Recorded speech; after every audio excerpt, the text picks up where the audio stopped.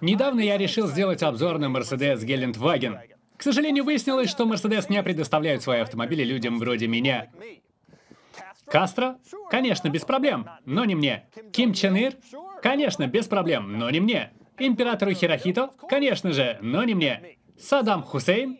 Но, к счастью, я нашел Гелендваген для обзора. Вот это 240 GT 1987 дизельная модель кабриолет с мощностью 80 лошадиных сил из эпохи Холодной войны. И хоть он не такой люксовый или технологически продвинутый, как новая модель, я думаю, он довольно близко. Что я сегодня вам и продемонстрирую. Салон.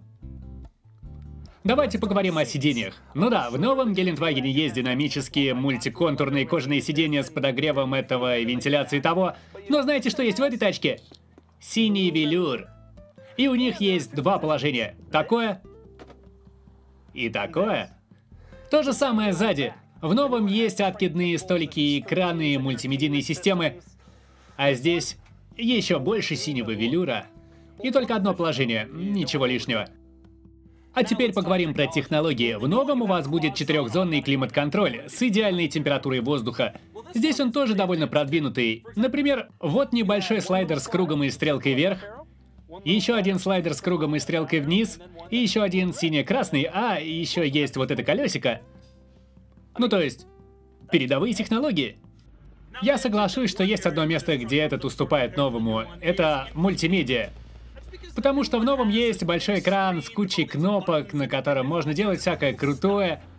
В этом же центральная панель ограничена вот этим черным переключателем с неизвестной функцией, аварийкой, радио, двумя кнопками, таинственно подписанными М и Ю, и вот этой небольшой пластиковой штукой. Но есть в этой машине и два важных технологических преимущества в сравнении с новым. Во-первых, приборы с самолета.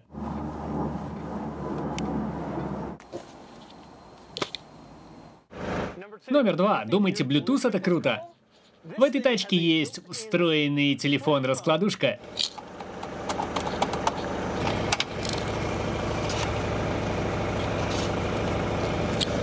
Я мог бы вас им убить. Экстерьер. Если вы внимательный зритель, то заметили, что этот Гелендваген очень похож на новый, лишь с одним важным исключением – он без крыши. Помимо этого, в них очень много общего, как, например, вот эта необычная линия, вот эти двери и, собственно, окно. Лобовое такое же, крылья такие же, капоты, поворотники такие же, а также дверная ручка вместе с фирменными звуками Гелендваген. Даже значок Mercedes спереди, напоминающий всем, что вы слишком хороши для джипа, точно такой же, как на новом. Видите, мне не нужен ваш вонючий Гелендваген Mercedes-Benz. Ощущение от вождения.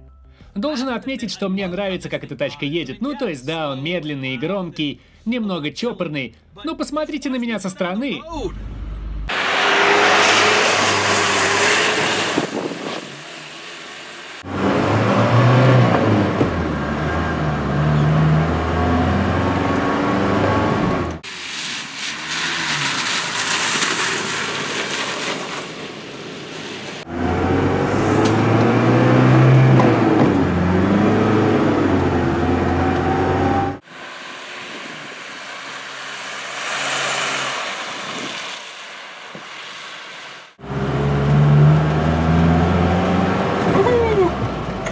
30 километров. Еще одна крутая штука. Он на механике.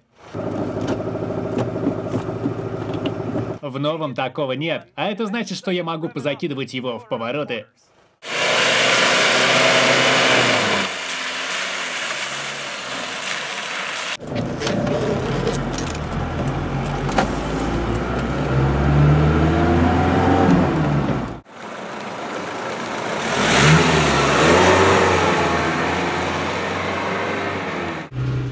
О, господи. Ну вот и все, Mercedes-Benz. Мне не нужен ваш вонючий Гелендваген, потому что у меня есть уже один из 80-х. По сути, такой же, как ни посмотри.